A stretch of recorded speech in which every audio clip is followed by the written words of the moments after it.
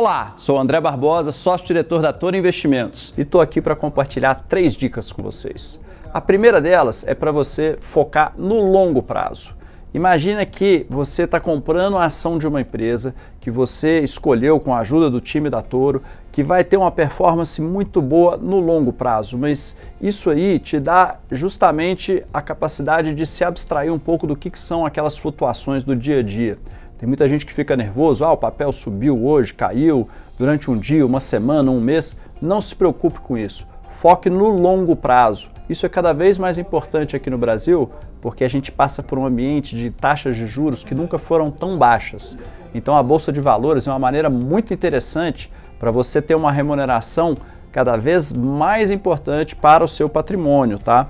Então você focar em empresas que vão te trazer excelentes resultados, não naquele dia, mas sim pelos próximos anos. E o time da Toro está à sua disposição para te ajudar a escolher essas ações. Então, dentro da área de bolsa da Toro Investimentos, você vai ter diversos filtros onde vão ter as recomendações dos nossos analistas, assim como tem uma seção chamada Explore o Mercado.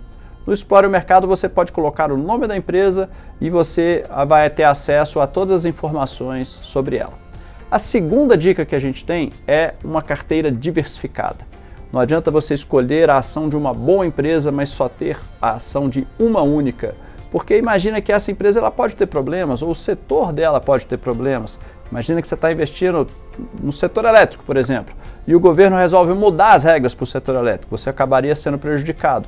Então a nossa recomendação é você ter ações de diversas empresas, preferencialmente de setores que não são correlacionados. Então você pode ter ações de empresas do setor de, por exemplo, educação, é, o setor de energia, como eu falei, o setor financeiro, o setor de construção civil, diversos setores que não são tão correlacionados, e aí sim você vai ter esse benefício da diversificação, pois afinal você não quer colocar todos os seus ovos numa única cesta. A terceira dica que a gente dá é para você fazer aportes recorrentes, ou seja, não coloque todo o seu dinheiro na bolsa de uma única vez, pois aquele dia pode ser talvez é, não o melhor para você fazer essa entrada.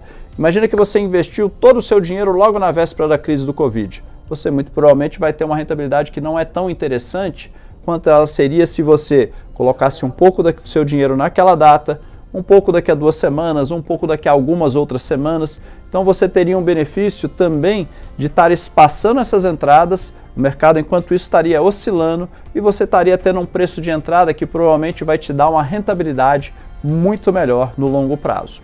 Aqui você pode investir ao lado dos nossos experts, nos melhores fundos imobiliários, ações mais promissoras e até receber recomendações de investimentos direto no seu celular. Fica aqui então o convite para você explorar a nossa área de aprenda e fazer parte do time das pessoas que estão vencendo no mercado com a ajuda dos nossos especialistas. Bons investimentos para você!